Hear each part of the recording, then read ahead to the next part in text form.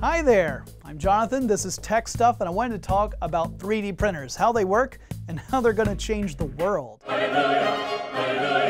this technology has been around for a while. It started in the early 1990s, but those early models cost tens of thousands of dollars.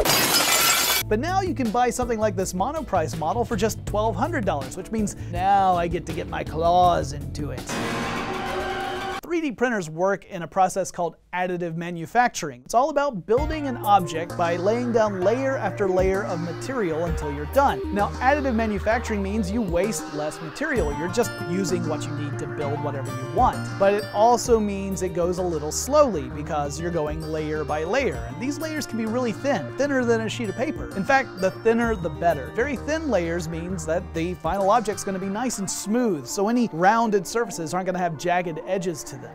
Generally speaking, the 3D printer uses special ink or toner that has a binding agent in it, which means it'll stick to itself. Now your typical consumer 3D printer uses ABS material. That stands for acryl acrylonitrile buta acrylonitrile acrylonitrile butadiene styrene You can see why we go with ABS. You can heat it up and then you can work with it. It becomes pliable. When it cools down, it will maintain that shape. That's the secret behind the 3D printer. I mean, you might be saying, okay, well, what is it good for besides just building stuff? In the industrial world, we're talking about allowing engineers to go from plan to prototype in no time flat. They can build a virtual model in a computer-assisted design program, send it to a 3D printer, and see what the physical object looks like and whether or not it works. And if it doesn't, they just go back to that virtual model, tweak a few settings, and print it again. You have iteration to prototype in just minutes. Now on the consumer level, it could really change our world as well. Imagine that you want a specific piece of furniture, but none of the stores around you happen to have it in their inventory. So you buy a digital model and send it to a printer that will print your furniture for you and then you just go and pick it up. Or maybe you have a 3D printer at home. You just print toys and knickknacks to your heart's desire. Maybe you have a 3D scanner. Maybe you get the idea to print your own action figure.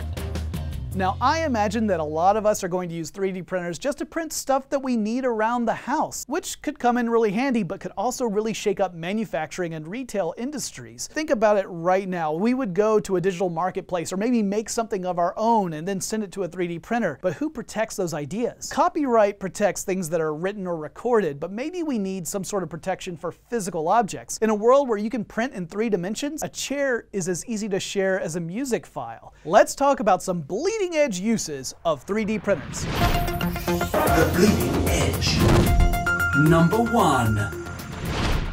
Human organs! Doctors and engineers are looking at using 3D printers to produce human organs. Here's how it would work. They would take stem cells from a transplant patient and then build a living organ using a 3D printer. The patient doesn't have to wait for a suitable donor and their body is much less likely to reject that organ. Two. Pizza! NASA is looking at using 3D printers to print food in space, like pizza. Can't think of a more noble cause. Three.